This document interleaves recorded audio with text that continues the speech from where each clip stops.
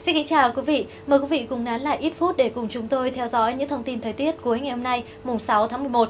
Vâng thưa quý vị, ngày hôm nay thì do ảnh hưởng của hoàn lưu áp thấp nhiệt đới kết hợp với nhiễu động trong đới gió đông trên cao nên ở các tỉnh khu vực Trung Trung Bộ đã có mưa vừa mưa to, có nơi mưa rất to. Lượng mưa phổ biến trong khoảng từ 40 cho đến 100 mm.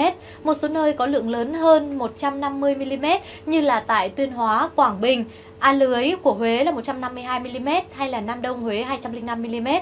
Còn tại Tam Kỳ của Quảng Nam là 124mm. Ở Tuy Hòa của Phú Yên và Nha Trang Khánh Hòa đã có gió giật mạnh cấp 6. Theo quy luật tháng năm thì thời kỳ này là nằm trong tháng mùa mưa cao điểm tại khu vực Trung và Nam Trung Bộ, với tổng lượng mưa tháng sẽ lên đến 500 cho đến 600 mm.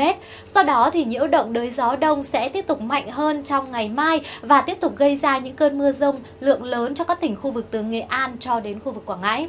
Riêng tại khu vực các tỉnh từ Bình Định đến Bình Thuận thì trong đêm nay do chịu ảnh hưởng trực tiếp của vùng áp thấp nhiệt đới nên sẽ có mưa vừa mưa to đến rất to và rông. Người dân cần đề phòng lốc xoáy, gió giật mạnh gây nguy hiểm và hiện tượng nước biển dâng do bão kết hợp với chiều cường cao từ 2,5 cho đến 4 mét. Mưa sẽ còn liên tiếp chút xuống trong ngày mai và sang ngày mùng 8 tháng 11 thì mưa sẽ có xu hướng suy giảm dần về cường độ và đến ngày mùng 9 tháng 11 thì chỉ còn xuất hiện những cơn mưa rào vào đêm và sáng tại khu vực ven biển Bắc và Trung Trung Bộ.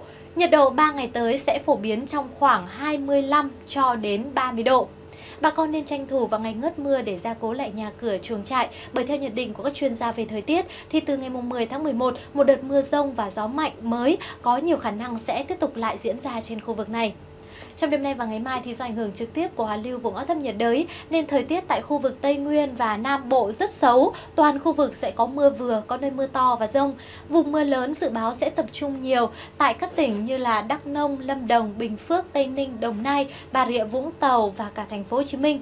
Ngoài ra thì ở vùng ven biển Nam Bộ, các tỉnh từ Phú Yên cho đến khu vực Bà Rịa Vũng Tàu có gió mạnh dần lên cấp 6, giật cấp 7, cấp 8 biển động. Tàu thuyền nên neo đậu và tìm nơi trú tránh an toàn, tuyệt đối không nên ra khơi để tránh thiệt hại đáng tiếc có thể xảy ra. Từ ngày 8 tháng 11 khi hình thế gây mưa suy yếu dần thì lượng mưa tại đây sẽ giảm và chỉ còn xuất hiện vào chiều tối tại khu vực Nam Bộ. Sang đến ngày mùng 9 thì mưa gần như là thưa thớt hẳn, vào ban ngày trời có nắng nên nhiệt độ có xu hướng tăng trở lại, phổ biến trong khoảng 27 cho đến 31 độ. Quay trở lại thời tiết tại các tỉnh khu vực miền Bắc, trong khi cả khu vực Trung Bộ, Tây Nguyên và Nam Bộ mưa to xối xả, thì nơi đây vẫn sẽ là khu vực ít mưa nhất trên phạm vi toàn quốc. Tuy đêm và sáng trời có chuyển nhiều mây hơn, nhưng mà mưa thì cũng chỉ xuất hiện lác đác ở phía Nam Đồng Bằng, các tỉnh Ninh Bình, Nam Định, Hà Nam hay Thái Bình. Do trời nhiều mây nên nhiệt độ về đêm và sáng phổ biến trong khoảng 22 cho đến 24 độ. Riêng một số nơi thuộc vùng núi cao như tại Sìn Hồ, Lai Châu, Mộc Châu, Sơn La hay là Sapa ở Lào Cai thì nhiệt độ vẫn có thể giảm xuống dưới ngưỡng 14 độ. Đến trưa chiều thì mây sẽ mỏng dần và trời hứng nắng, nên nhiệt trong những ngày tới khá ổn định với nhiệt độ phổ biến từ 27 cho đến 29 độ. Đến với thời tiết biển, thưa quý vị, đáng chú ý nhất hiện nay là tình hình áp thấp nhiệt đới. Chiều và tối nay, áp thấp nhiệt đới di chuyển nhanh theo hướng giữa Tây và Tây Tây Nam, mỗi giờ đi được khoảng 25 cho đến 30 km trên đất liền các tỉnh khu vực Nam Trung Bộ và Nam Bộ, với sức gió mạnh nhất ở vùng gần tâm áp thấp nhiệt đới, mạnh cấp 6, tức là từ 39 cho đến 49 km một giờ, giật cấp 7, cấp 8.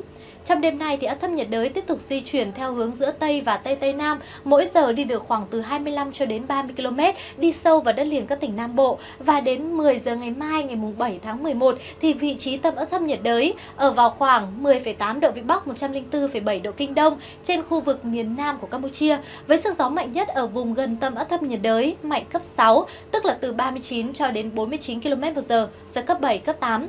Do ảnh hưởng của hoàn lưu vùng áp thấp nhiệt đới mà từ đêm nay, vùng biển từ Cà Mau đến Kiên Giang và khu vực Vịnh Thái Lan có gió mạnh cấp 6, giật cấp 7, cấp 8 biển động, thời tiết rất nguy hiểm cho tàu thuyền. Mưa rông và gió mạnh còn duy trì nhiều trong đêm nay và sáng ngày mai tại khu vực giữa và phía nam của Biển Đông, bao gồm cả vùng biển của quần đảo Trường Sa. Sau đó thì cường độ mưa sẽ suy giảm dần. Tuy nhiên thì nhiều khả năng từ đêm mùng 8 tháng 11 khi mà cơn bão Haiyan tiến vào Biển Đông thì sẽ gây ra mưa lớn và gió mạnh trở lại cho vùng biển này. Những thông tin vừa rồi đã khép lại bản tin thời tiết cuối ngày hôm nay của kênh VTC14. Chúc quý vị và các bạn có một đêm ngon giấc. Còn bây giờ, xin kính chào tạm biệt và hẹn gặp lại.